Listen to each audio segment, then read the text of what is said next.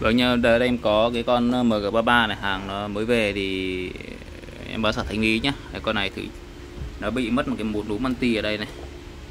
À, ngoại hình đây. Cái nhà hàng em về em chưa em mới thử ghim điện em ờ, chưa có vệ sinh đâu. Mới thử ghim điện chưa vệ sinh đâu. Thì ghim điện lên thì không thể nó lên điện nhá Này.